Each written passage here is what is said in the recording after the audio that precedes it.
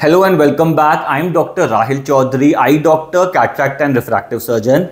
कुछ समय से आप लोगों के कुछ क्वेश्चंस आ रहे थे कि डॉक्टर साहब ये ट्रांस एपिथेलियल पीआर के ये कौन सा ऑपरेशन है चश्मा हटाने का तो सारा मैं आज आपको क्लैरिटी दे देता हूँ देखिए ट्रांस एपिथेलियल पीआर के कोई नया ऑपरेशन नहीं है ये लेजर से चश्मा हटाने की टेक्निक्स की एक कैटेगरी ऑफ़ ऑपरेशन है। तो थोड़ा सा मैं और डिटेल में समझाता हूँ।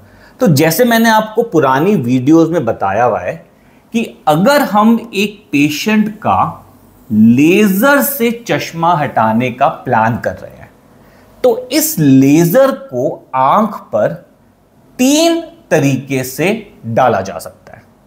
तो पहला तरीका होता है सरफेस वाला तरीका, जहाँ पे लेजर को डायरेक्टली आँख की काली पुतली पर डाला जाता है। इस कैटेगरी को कहते हैं सरफेस अबलेटिव प्रोसीजर्स फिर एक सेकेंड कैटेगरी होती है, जहाँ पे हम पेशेंट की आँख में एक पहले फ्लैप बनाते हैं, उसको उठाते हैं और लेजर को आँख पे डालकर चश्मे का नंबर ठीक करते हैं। तो ये सेकेंड कैटेगरी है फ्लैप बेस्ड लेजर प्रोसीजर्स और थर्ड कैटेगरी होती है फ्लैपलेस लेंटिक्यूल वाले प्रोसीजर्स जैसे सिल्क हो गया स्माइल हो गया। इनमें हम लोग क्या करते हैं कि लेजर पुतली के अंदर एक पतली सी टिश्यू का डिस्क बना देता है, जिसको हम साइड से निकाल लेते हैं और चश्मे का नंबर ठीक हो जाता है। तो अगर हम आपके चश्मा हटाने का ऑपरेशन इस कैटेगरी से कर रहे हैं, सरफेस वाली कैटेगरी से कह रहे हैं तो इसी कैटेगरी का एक दूसरा नाम है ट्रांस एपिथेलियल पीआरके। जैसे आपने एपिकोन्ट्यूरा के बारे में सुना होगा, जहाँ पे हम लेजर डायरेक्टली आँख पर डाल के चश्मे का नंबर ठीक करते हैं। तो एपिकोन्ट्यूरा जो है, वो एक ट्रांस एपिथेलियल पीआरके या सरफेस वाले लेजर कैटेगरी का एक ऑपरेशन है। तो अब थोड़ा सा मैं और डिटेल में अगर बताना चाहूँ तो ये जो सरफेस वाले ऑपरेशंस होते हैं, इनमें हम जब लेजर से चश्मा हटाते हैं तो किसी भी तरह का कोई कट नहीं होता, कोई फ्लैप नहीं होता, कोई टच नहीं होता, बस पेशेंट मशीन पर लेटा होता है और डायरेक्टली लेजर को पेशेंट की आँख पर डाल के चश्मे का नंबर ठीक कर दिया जाता है। अब इस ऑपरेशन के कुछ एडवांटेजेस हैं और कुछ डिसएडवांटेजेस हैं। तो एडवांटेज क्या है कि क्योंकि इस ऑपरेशन में किसी तरह का कट या फ्लैप नहीं बना तो आँख में किसी भी तरह का निशान नहीं आता नो स्कार तो स्पेशली जो बच्चे मेडिकल्स के लिए जाना चाहते हैं रेलवेज के लिए एयरफोर्स एफ़ कैट के लिए एसएसबी के लिए इन सब जो कैटेगरीज होती हैं, ये जॉब्स वहाँ पे लेजर ऑपरेशन अलाउड नहीं होते। तो ये जो सारे स्टूडेंट्स हैं, ये यूजुअली ट्रांस एपिथेलियल पीआरके या एपिकोन्ट्यूरा वाला ऑपरेशन प्रेफर करते हैं, क्योंकि उसमें कोई निशान नहीं आता।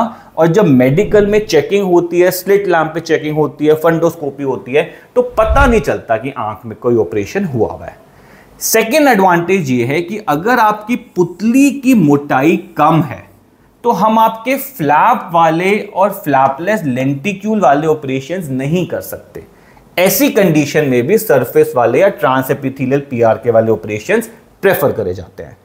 और साथ ही साथ ये पेशेंट के लिए बहुत कंफर्टेबल होता है, क्योंकि कुछ करना ही नहीं है। पेशेंट बस लेटा हुआ है, हम बटन दबाते हैं और ऊपर से लेजर आ जाता है करीब 20-30 सेकंड के लिए एंड दैट्स इट चश्मे का नंबर खत्म हो जाता है। डिसएडवांटेजेस क्या है?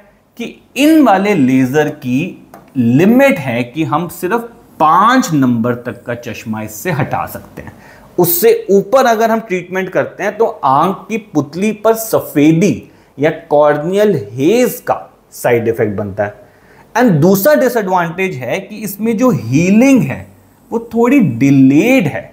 जैसे अगर मैं फ्लैप वाला या फ्लैपलेस लेंटिक्यूल वाला करता हूँ तो 24 घंटे में आपकी नज़र साफ़ हो जाती है और अपने काम पर वापस जा सकते हैं। Compare to trans epithelial PR K, जहाँ पे हीलिंग करीब 15 से 45 दिन की रहती है तो थोड़ा ज़्यादा टाइम लगता है नज़र को बिल्कुल परफेक्टली साफ़ होने में क्लियर होने में। साथ ही साथ मान लीजिए कोई स्पोर्ट्स में ज़्यादा है या कॉन्टैक्ट स्पोर्ट्स है बॉक्सिंग वगैरह करते हैं एडवेंचर ज़्यादा करते हैं। तो ऐसे पेशेंट्स के लिए भी हम ये वाला ऑपरेशन प्रेफर करते हैं, क्योंकि इसमें किसी तरह का फ्लैप नहीं बनता। तो कल को आँख में अगर चोट लग भी जाती है तो कोई फ्लैप नहीं है तो कुछ हिल नहीं सकता तो आपको कोई कॉम्प्लिकेशन या डैमेज नहीं होता। अब ट्रांस एपिथेलियल पीआरके वाले ऑपरेशंस या सरफेस वाले ऑपरेशंस भी टाइम के साथ एडवांस कर रहे हैं। तो इसमें अलग अलग टाइप्स के ऑपरेशंस हैं और अलग अलग टाइप्स की इसमें क्वालिटी आती है। तो एक बेसिक ऑपरेशन है, जिसमें एस्फेरिक वन स्टार क्वालिटी आती है। तो उस ऑपरेशन का नाम है स्मार्ट सर्फ फिर टेक्नोलॉजी अपग्रेड हुई वे फ्रंट गाइडेड वाले आ गए ऑपरेशन डबल स्टार क्वालिटी वाले। इस ऑपरेशन का नाम है कस्टमाइज फिर और टेक्नोलॉजी अपग्रेड हुई टोपोग्राफी गाइडेड वाले थ्री स्टार क्वालिटी वाले आ गए। इस ऑपरेशन का नाम है एपिकॉन्ट्यूरा तो ये ऑपरेशन अभी तक का सबसे पॉपुलर ऑपरेशन रहा है सरफेस अब्लेटिव या ट्रांस एपिथेलियल पीआरके की कैटेगरी में।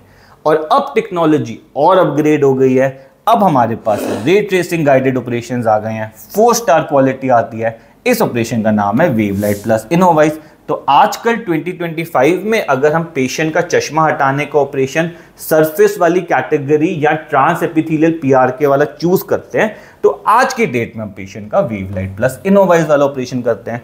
तो ये सारे जो नाम है, ये बेसिकली सारे इस कैटेगरी के ऑपरेशन है। सरफेस वाले या इसी कैटेगरी को हम ट्रांस एपिथेलियल पीआरके भी कहते हैं। टाइम के साथ टेक्नोलॉजी अपग्रेड हो रही है और विजन की क्वालिटी है, वो बेटर हो रही है। तो यहाँ तक हम यूजुअली पेशेंट को सिक्स सिक्स का एडवांटेज दे पाते थे। एपिकॉन्ट्यूरा आया तो पेशेंट को सिक्स सिक्स से ऊपर सिक्स फाइव तक का एडवांटेज दे देते हैं। और अब वेवलाइट इनोवाइज आया है तो इससे भी better six six six five six four या सिक्स थ्री यहाँ तक का पेशेंट को हम एडवांटेज दे देते हैं। तो बस, इतना मैं आपको समझाना चाहता था कि ट्रांस एपिथेलियल पीआर के कोई नया ऑपरेशन नहीं है। ये एक ऑपरेशन की कैटेगरी है। बस, इस कैटेगरी को कोई सरफेस अबलेटिव प्रोसीजर कहता है और कोई ट्रांस एपिथेलियल पीआर के कहते हैं। कुछ लोग इसी को टचलेस लेसिक कहते हैं। टच लेस लेसिक क्योंकि इस ऑपरेशन में आँख को टच करने की भी ज़रूरत नहीं है। लेजर तो डायरेक्टली आँख पर आ रहा है। तो no cut, no flap, no touch. तो टचलेस लेसिक भी कुछ लोग इंटरचेंजेबली यूज़ करते हैं। इसी कैटेगरी के ऑपरेशन को इस नाम से भी जाना जाता है इस नाम से भी जाना जाता है इस नाम से भी जाना जाता है। कुछ लोग डायरेक्ट बोल देते हैं एपिकॉन्ट्यूरा कराने आया जी। सो so, ये इंटरचेंजेबली जो वर्ड्स है वो यूज़ होते हैं। लेकिन बेसिक साइंस आपको समझनी है कि ये सब टेक्नोलॉजीज़ काम कैसे करती है। तो अगेन इससे रिलेटेड मन में और कोई भी डाउट हो तो वैसे कमेंट सेक्शन में पूछ सकते हैं। Thank you very much and I be back soon